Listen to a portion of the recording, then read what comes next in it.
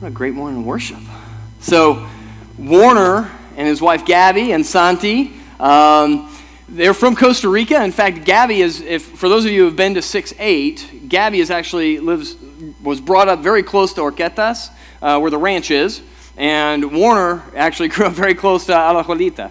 So, um, and they're here, and surprised they show up in our at our church. So it's super cool. They're actually going to come on staff uh, to start helping out uh, Barry in worship and production and stuff like that. So we're super excited to, to have them as part of the team. Uh, so if you have not said hi to them, please say hi to them after service. Um, or if you're on digital land, uh, reach out to them. I posted a picture of their family on the uh, family page this morning. Before we get started, let me, let me pray. Father, you are good, and you are deserving of our glory. And this morning, Father, you know that, that the stuff that we're going to be talking about is going to glorify you in a way that, um, uh, that should just humble us. I pray, Father, that this morning that, that wherever, wherever we're at individually, you know, I mean, we're all in different places here this morning, God. And, and as, as I speak your word this morning, I pray that you and your Holy Spirit would work in us, open our eyes, help us to see that you alone are worthy of glory and that you are the one that does all the work in us and for us. We thank you, Father, and we pray this in the name of your Son, Jesus Christ. Amen. All right, so this is the last Sunday on the uh, God's Promises sermon series, okay? And so we're concluding this with the new covenant, the new promise the, the last promise, if you will. You know, what we've been doing, and in fact, last week we saw that, that the king that was promised from David's throne, that that king was going to fulfill all of the promises, right? All, everything that we had talked about previously, that king was going to make them sure. And we saw that Jesus declared himself to be that king. So we know who, and I think I think most of, uh, most of us understand, like, yes, it's Jesus. Obviously, that's why we're here. We're at a Christian church. The answer has to be Jesus, right? But what we're going to look at this morning is how. Not the who, how does Jesus do this? How does God do this? How does the Holy Spirit do this?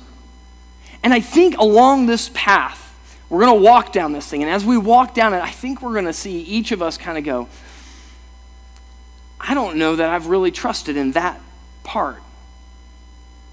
There's going to be places where you're going to go, man, I've always been the one trying to do that piece of the work.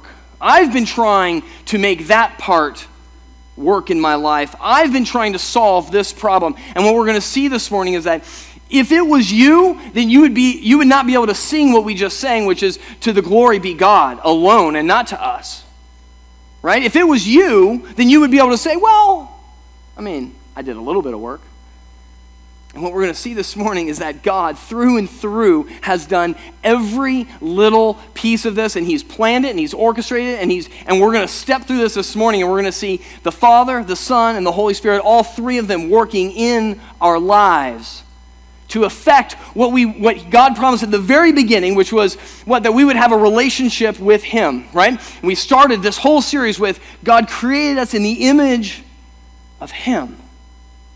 He wanted us to have this relationship, and then we just saw casualty after casualty and everything just fall off and fall away. And this, at the end today, we're going to see God is going to have a plan, and He's executing that plan to bring us back into a relationship with him. And so we're going to start in Luke chapter 22 this morning. And ironically enough, we're going to spend more time talking about the New Testament from the Old Testament uh, this morning. And so, but we're going to start in Luke chapter 22, verse 19. So what Jesus says, this is the Last Supper, he says, This is my body, which is given for you. Do this in remembrance of me. And likewise the cup after they had eaten, saying, This cup that is poured out for you is the new covenant in my blood. So, a new covenant. We haven't really been using the word covenant very much because it's a very churchy word, um, but it, it effectively means promise. And that's kind of how we've been rolling through this. But what Jesus points to right here is that there is a new covenant. He's referring to something, and we're going to kind of dissect what he's referring to here. But what Jesus is saying is that the covenant is in his blood. Very weird, right? Especially for us in the 21st century, not living in a sacrificial system with a temple and all of this stuff, right? But what Jesus is saying is that he's ratifying this covenant. He's establishing it, he's signing it in his blood. So he's the guarantor of this covenant. If you would turn over to Hebrews chapter 8, the author of Hebrews in verse 6 explains it. He says, But as it is, Christ has obtained a ministry that is as much more excellent than the old as the covenant he mediates is better, since it is enacted on better promises. For if that first covenant had been faultless, there would have been no occasion to look for a second. Okay, so what you have here is the author of Hebrews is saying, you guys understand there's, a, there's an old covenant. And what he's talking about is the Mosaic covenant, the law, right, that BJ preached on a couple weeks ago. And he's saying there's a new covenant, and it's a better covenant because it's based on better promises. And what we're going to see this morning is that the better promise is that we don't have any participation in this other than faith. That God is actually going to be the one that's going to fulfill the promise to himself. So in this covenant, right, in a normal like contract covenant, there's two parties. Right? And this is how we see this in the Mosaic law. It's like, hey, well, God says do this, and then we have to uphold our part and we have to do this. Well, in this new covenant, God says we must do this, and then God makes it possible for us to do this. And we, and we, we just trust and we have faith. That, that is what is so incredible. That's why it's a better promise. But it's interesting, right? Because he actually says, if the first had been faultless, what he's not, he's not saying, and the author of Hebrews isn't saying that the Mosaic law was bad per se. In fact, we actually read in Romans that it, it actually served a very specific purpose, and BJ addressed this. In Romans chapter 7, verse 12, he says, So the law is holy, and the commandment is holy, and righteous, and good. And then Paul says, Did that which is good then bring death to me? By no means. It was sin producing death in me through what is good. And then listen to this last part. In order that sin might be shown to be sin, and through the commandment, commandment might become sinful beyond measure. If you have a Bible, underline that sinful beyond measure. You see, if, our, if we can't measure our sin, then we can't solve our sin. That's what he's saying. That's the, that was the purpose of the Mosaic Law. If, if God is the only one that can measure it, God is the only one that can solve it. And that's what he's saying. That's what the author of Hebrews is saying. Like, this is exactly what this new covenant, these new promises are going to do because it's going to solve this problem. And then in verse 8, in Hebrews 8 8, he says, For he finds fault with them when he says, Behold, the days are coming, declares the Lord, when I will establish a new covenant with the house of Israel and with the house of Judah. You know where that comes from? That's Jeremiah. That's what, that's what the author of Hebrews here is quoting. Because in Jeremiah, we read that there was going to be a new covenant. Way back, right? Before they were, as, as they were going into exile, Jeremiah is saying there is going to be a new promise. There's going to be a new promise, and it's going to be on better things. And what we're going to see this morning is that Ezekiel is going to lay this out. He's going to go, let me explain to you what this new covenant is going to look like. That we know who we know who the king is. We know it's Jesus. Let me explain to you how he is going to affect this. So we're going to spend the rest of the morning in Ezekiel chapter 36. So if you would turn over to there, and we're going to start in verse 23 or 22, and we're going to work our way through verse 28. And Ezekiel is going to step through what Jeremiah has prophesied about. He's going to step through this new covenant. And we're going to see what this new covenant does. The first thing this new covenant does is it vindicates God's name, vindicates his name. Read with me verse 22 in Ezekiel 36. He says, Therefore, say to the house of Israel, Thus says the Lord God, It is not for your sake, O house of Israel, that I am about to act, but for the sake of my holy name, which you have profaned among the nations to which you came. And I will vindicate the holiness of my great name, which has been profaned among the nations, and which you have profaned among them. And the nations will know that I am the Lord declares the Lord God, when through you I vindicate my holiness before their eyes. See, if we're not careful, we start to think that this whole thing is about us. If we're not careful, when we read through this, we're thinking, man, God, what do you have for me today? What's, what's the thing that you need from me? And what, what kind of great words do you want to speak into my life today? And if we're not redirecting that around to say, for your glory, then we're missing the point. Because what God says here is that He is vindicating His name, He is making Himself holy. And what's the reason for it? The reason is because Israel, right? And we already talked about this in Abraham's blessing. Guess, who, guess who's incorporated in this definition of Israel here? This is all of us. And what does he say? Because you have profaned my name. And what have, what have we done? Actually, he actually starts off and he says, The nations have profaned my name. When he says, when he uses the word nations, he's talking about non-believers, people who don't trust in God. He's saying, they profane my name. Why? Because we profane his name. And we, and we see that, don't we? We live lives, we, we speak about love, but it stops with our words often. We see oppression and we see the plight of others, but we just can't help but bring ourselves to care Maybe we have a little bit of empathy, but the world sees that it's just words. And, and this is why the world looks at the church, and especially right now, and looks at the church and goes, they got nothing. They don't have anything that we don't have. They're struggling with the same things we're struggling with. They have no significant peace or joy or contentment that's lasting. God is profaned because they go, their God has done nothing for them. And as you read through the Old Testament, you see that this is God's focus throughout the Old Testament, right? That Israel is going out and living faithless lives. And what God wants to do is to show the world, show all of humanity how powerful He is, but He needs people to be obedient. He needs people to be trusting of Him. He needs people to be living lives that are seeking to glorify Him and not themselves.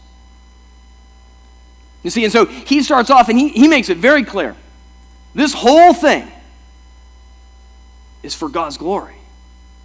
All of it. And if that if that hurts inside of you, if you're like, man, that just seems really selfish.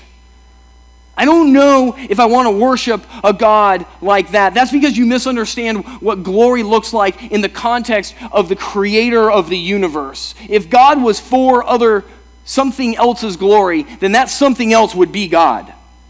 You guys understand that, right? There's, there's a theological leap here that you have to take, and you have to go, you got to realize that God seeking glory has nothing to do with the same thing where you see people seeking glory. That's a different thing. That's self absorption, that's selfishness, that's pride. That's not what God has. And so he says, at the very outset of this covenant, just know that this is so that I will redeem my name. And so the nations, the world, you, everybody will know how powerful and how awesome I am and how different I am from my creation. And what he's going to show us is that fundamentally the thing that he's going to do is he's going to show that he's going to rescue us. He's going to do it. He's going to do the rescuing. That's how God is going to glorify himself. That is how God is going to vindicate his name by rescuing us. Look what it says in verse 24. I will take you from the nations and gather you from all the countries and bring you into your own land. Now, we, we saw the land blessing before, right? That, like, God was going to bless Abraham, and he's, he's continued to emphasize this. I don't want you to, like, let's not get into the Palestine Israel debate. Like, that, that, again, is not the ultimate focus. What he's talking about here is peace, comfort, security, and this is eternal that he's promising. But those words, Look at what he says. He says, I will take you from the nations. He's going to take us. So the nations are, like I said, non believers. He's going to take us from that, separating the wheat from the chaff. He is going to take, and then he's going to gather us from the peoples. He's, he's going to gather us from all the world. There's, there is no part of the world that God can't reach, His power is all encompassing. And so we know that God is going to rescue us. Those who trust in Him, those who have faith in Him. So, how, how does this rescue, rescue story start? If you turn over to Galatians chapter 1, verse 4, talking about Jesus, it says, Who gave Himself for our sins to deliver. Some of your translations might say rescue, to deliver us from the present evil age according to the will of our God and Father. It is it's Jesus that does the rescuing. So God wants to vindicate his name. And so he sends his son in the fullness of time, in the lineage of David, to solidify the promises that he has made previously. He sends his son, and his son is on a rescue mission. His son is coming to rescue us. He came to rescue us, and he will come again. But how? See, I think right there, most Christians, most of us are like, isn't that it? Jesus came to rescue us. I'm not exactly sure what happens after that. But he's going to say exactly how it's going to happen. And look at this. The first part of this is in verse 25 that, that he's actually going to cleanse us. He's going to cleanse us. Look at what it says in verse 25 I will sprinkle clean water on you, and you shall be clean from all your uncleannesses, and from all your idols I will cleanse you. He's sprinkling water, okay? This isn't a bath, okay? He's not talking about us being dirty. He's, the uncleanness is not due to filth and not taking a shower or a bath. That has nothing to do with this. This is symbolic. And we could go back and look at the Old Testament and the idea of sprinkling and how significant that was, but it was symbolic of something deep and substantial. And what he's saying here is, I will sprinkle clean water on you I will cleanse you from your uncleannesses. Don't we try to do that ourselves? I think this is, I think this is the top part in our lives where we try to do what is God's responsibility. How many of you are struggling with some form of idolatry or envy or lust or addiction? the, the list goes on and on. And what do you think? I got to kick this. I got to solve this. Isn't that what we think? That it's our responsibility to solve this problem. But that's not what it says. It says that God is going to cleanse us. You guys, fundamentally, we got to realize that this rescue mission starts with God and it's going to end with God. And so, your most effective measure at solving these problems is to go to God, to fall on your knees before Jesus Christ and go, Help me. Because only you can sprinkle clean water on me. Only you can remove the sin, the uncleannesses in my life. And we read this in 1 John chapter 1 verse 7. He says, But if we walk in the light as he is in the light, we have fellowship with one another. And the blood of Jesus, his son, cleanses us from all sin. You see, Jesus' blood signed the bottom of the covenant, but it did more than that. You see, when Ezekiel's talking about this water cleansing us, it's the blood of Jesus Christ on the cross that is doing the cleansing. That's where our sins are left. And that's why we say this is, this is holy Jesus. There's nothing you can do. Right? Our sins are beyond measure. If you spent the rest of your life trying to pay, I don't know, repent or pay, pay for your sins, you would never finish. And yet, Jesus, in a single moment, cleansed us from all unrighteousness, took all of our sins, past, present, and future. And in the Father's presence, we are declared righteous. Just get that. You didn't do that. You can't do that. So when we say, yeah, I believe that Jesus rescues us, when we even say that I believe that Jesus died on the cross, we're not talking about just some factual thing that happened in history. We're talking about what's the significance, what's the spiritual element of this. What's the cleansing that actually happened? And what actually happened was that Jesus cleansed us from all our uncleannesses, just like Ezekiel prophesies was going to happen. He's the king that's going to make us work. But we're still not at the end of this promise. so Jesus came, came to rescue us. Not only did he come to rescue us, but he cleansed us, cleansed us. He took away all of our sins. Isn't that done? Aren't we isn't this the end of the story?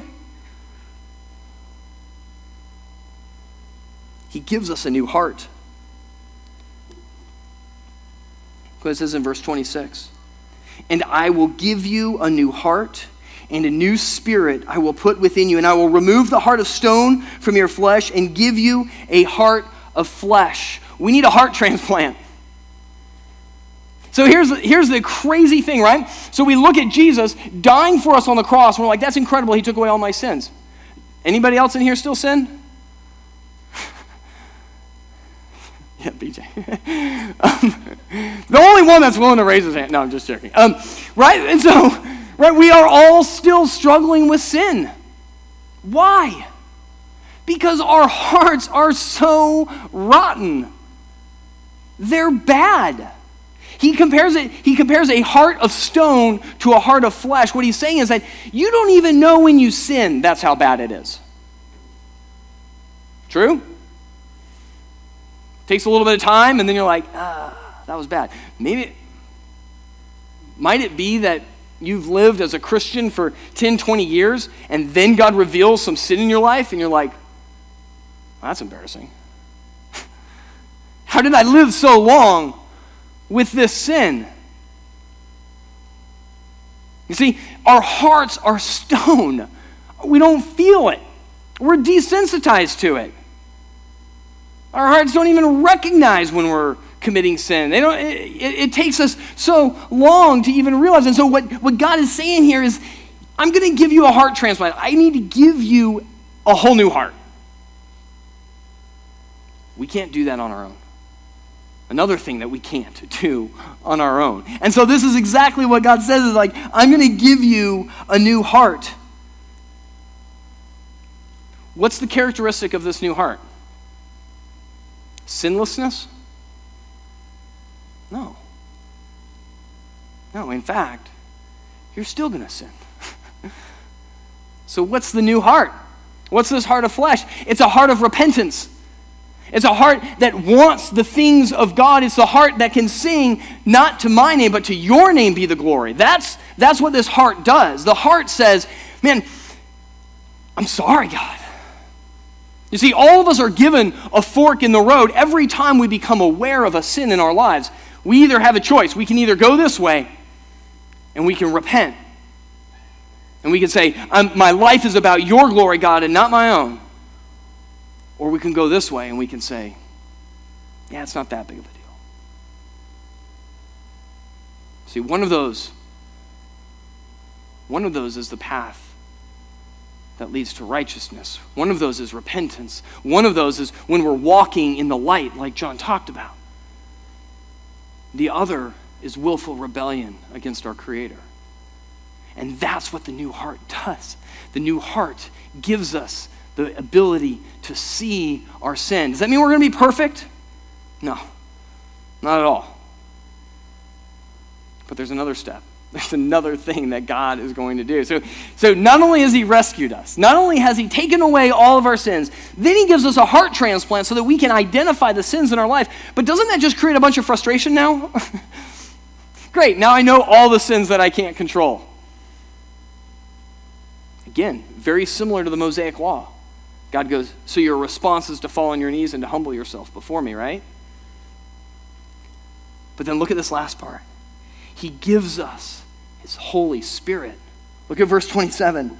And I will put my spirit within you and cause you to walk in my statutes and be careful to obey my rules. We've, we've read that before. The Spirit. The Spirit is going to cause us, cause us. You get this? It's the power behind our lives. Not your power, not my power, not our ability to, to try harder, think harder, be better people. That's not the point. What he's saying is that his Holy Spirit is going to cause us to walk in his statutes and be careful to obey his rules. You see, that's a desire thing, right? Being careful, caring about what God says. How do you know what God says? How do you know what God wants in your life? Read Scripture, pray, seek His will. He's faithful. He wants you to obey. Why? Why does He want you to obey? Because the world is profaning His name because we live no differently than they do, and then we judge them. See, what he wants is us to live to be separate. Remember, we talked about this before that this, this word holy, sanctified, means to be set apart. God wants to set his children apart. The world should see us differently. Because when the world sees us differently, then they go, What's different? Why? Why did they respond differently? Not because you're some great person, but because God's Spirit dwells inside of you. And it causes you to want to live for Him. He causes you to want to glorify Him. The very first psalm says this in, in just an incredible way. Psalm chapter 1, verse 1. Blessed is the man who walks not in the counsel of the wicked, nor stands in the way of sinners, nor sits in the seat of scoffers but his delight is in the law of the Lord. And on his law he meditates day and night. That's how we become obedient. That's how we start living and allowing the Holy Spirit to live in our lives. That's how God intends to set us apart. Not because of you, not because of me, not because we're good people we're not trying to earn God's favor. Anywhere in this plan sound like, like we can do anything to help ourselves along this path? There's nothing we can do except trust in God. Trust in this plan, trust in His Son. That's what's so incredible about it. This is why this is a new promise. This is why it's a new covenant. This is why it's built on better promises because God is not just the one establishing the covenant, God is the one signing the covenant and fulfilling all the terms of the agreement on our behalf. That's the good news. When we talk about like the good news of Jesus Christ, when we talk about the gospel, that's the gospel in a nutshell. We've seen this start the very beginning and God wraps it all the way back around. He goes, Do you understand that the plan all along is that I would restore this relationship? And that's the last thing that he says here in verse 28. Ezekiel 36, 28. You shall dwell in the land that I gave to your fathers, and you shall be my people, and I will be your God. That's the end. That's the end of it. That's the end that we're, we're waiting for, finally completely. But there's something right now for us. It's not that we just have to wait and hope for this time. The Holy Spirit that God sent to be with us, the counselor that Jesus talks about, that he says, Hey, I got to leave so that I can send you the Holy Spirit. That counselor is with us now, here, right now, in you, in each of us, in all of God's children, so that we can live lives that glorify Him. Not so we can just wait for eternity but so that we can be about our Father's business. And so he gives us his Holy Spirit. He changes our heart completely. He cleanses us from all of our sins. You guys, like, this is amazing. This should bring us to our knees going, I can't believe that this is what existence is about. This is what our God has done.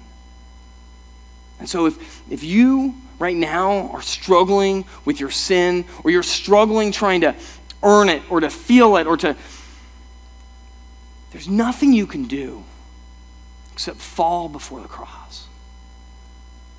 Go before God and say, God, listen, I, I, I don't know how to respond. He doesn't want you to respond to your sin in shame. He wants you to respond to your sin by going to Him and saying, God, would you take this from me? Show me your power. Show me what you can do. And so many of you have stories of God's power in your life because He wants to do this. Why? Because it vindicates His name. Because our God will receive all the glory.